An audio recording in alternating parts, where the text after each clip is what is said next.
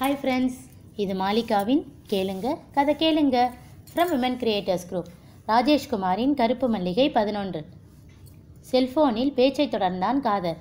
Sir உங்ககிட்ட பேசின பின்னாடி தான் மனசுக்கு ஒரு தைரியம் வந்திருக்கு. இன்னும் பத்து நிமிஷத்துக்குள்ளே அனாதை குரங்களை கருப்பு மல்லிகை பூக்கும் சார். பூக்கவை இப்போ நான் டிவி பார்த்துட்ருக்கேன். லைவ் டெலிகாஸ்ட் ம் ஓடு. நாளைக்கு எல்லா பேப்பர்லேயும் தலைப்பு செய்தி நீதான். எஸ் சார் செல்போனை அணைத்து மார்பு சட்டை பகுதிக்குள் பதுக்கிக் கொண்டு மரத்தின் மறைவு பகுதியிலிருந்து வெளிப்பட்டான் காதர். சற்று தூரத்தில் ஜனக்கும்பல் அலைமோதிக் கொண்டிருந்தது. இதில் எத்தனை பேருக்கு இன்று கடைசி நாளோ? கும்பலை நோக்கி நடந்தான் காதர். பத்தடி எடுத்து வைத்திருப்பான். பின்பக்கம் பெண் குரல் ஒன்று கேட்டது. எக்ஸ்கியூஸ் மீ திரும்பினான் காதர். சுடிதார் துப்பட்டாவில் அந்த பெண் தெரிந்தாள். பளிர் நிறம். சதை பிடிப்பான நீள்வட்ட முகத்தில் மின்சாரம் துதும்பும் கண்கள். காதுகளில் பொன் வளையங்களும் மூக்கின் இடது பக்கம் மூக்குத்தி என்ற பெயரில் மின்னிய தங்கத் துணுக்கும் அவளுடைய அழகுக்கு கூடுதல் மார்க்குகளை போட்டுக்கொண்டிருந்தது தோளில் ஃப்ளாஷ் கேமரா தொங்கியது. காதரை நெருங்கினாள் அந்த பெண் பார்வையை உன்னிப்பாக்கிக் கொண்டு கேட்டாள் நீ காதர் தானே? அவளையே பார்த்தான் காதர். எங்கேயோ பார்த்த முகம். யார் இவள்? காதர் இல்லை என்று சொல்லி ஒதுங்கிக் கொள்ளலாமா?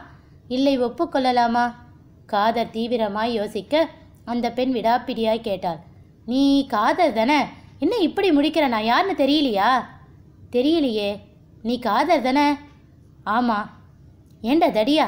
இதை ஒத்துக்க உனக்கு இவ்வளோ நேரமா? நான் தாண்டா ரோஹிணி ரோஹிணி காதரின் உதடுகள் பெயரை உச்சரிக்கும் போதே மனசுக்குள் பத்தாண்டுகளுக்கு முந்தைய கல்லூரி வாழ்க்கையின் ஃப்ளாஷ்பேக் ஓடியது. பிஎஸ்சி கெமிஸ்ட்ரியில் இதே ரோகிணியோடு படித்த நாட்கள் பசுமையாய் மனசுக்குள் இருந்து எட்டி பார்த்தது. தான் ஒரு மனித வெடிகுண்டு என்பதை மறந்து போய் மலர்ந்தான் காதர். ரோகிணி நீயா? ஆமாம் நானேதான் என்றாள். என்ன ரோகிணி காலேஜ் டேஸில் ஒல்லி பிச்சா மாதிரி எவ்வளவு ஸ்லிம்மாக இருப்ப? இப்போ கொஞ்சம் பெருத்துட்டியே.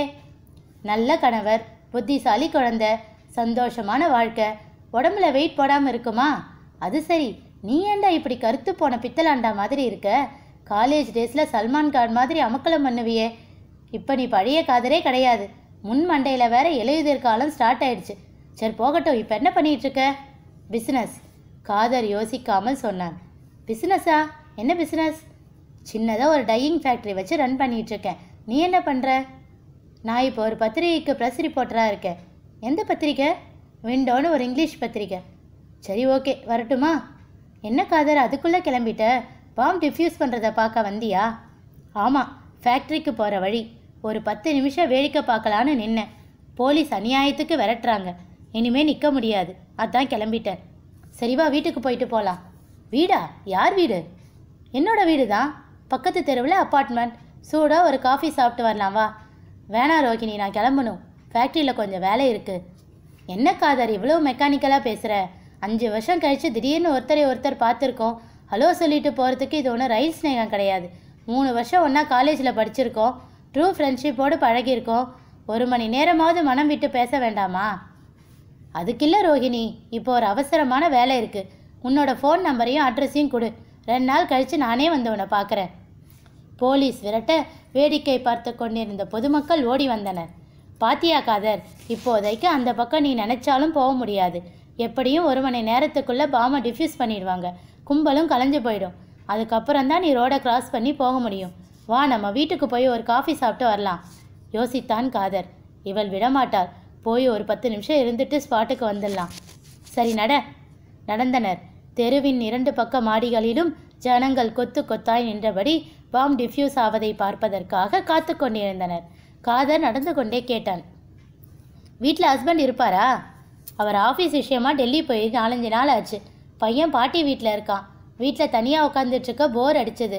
பாம் டிஃப்யூஸை பற்றி ஒரு ஆர்டிக்கல் எழுதலான்னு கேமராம் கையுமா ஸ்பாட்டுக்கு வந்தேன். ஜேர்னலிஸ்ட்னு சொல்லியும் போலீஸ் காருக்கு பக்கத்தில் என்னை போக அலோவ் பண்ணவே இல்லை. கும்பலில் இடிபட்டுட்டு நிற்க முடியாமல் வீட்டுக்கு திரும்பிட்டு இருந்தபோது தான் உன்னை எத்தேச்சியாக பார்த்தேன். முதல்ல பார்த்தப்ப யாரோன்னு நினச்சேன். உனக்கு என்னடா ஆச்சு? ஏன் இப்படி கரிச்சட்டி மாதிரி ஆயிட்ட? சஹாரா பாலைவனத்தில் போய் வேலை பார்த்தியா என்ன? நடுவில் கொஞ்சம் உடம்புக்கு சரியில்லாமல் போச்சு. ஹாஸ்பிட்டலில் ஒரு மாதம் இருந்தேன்.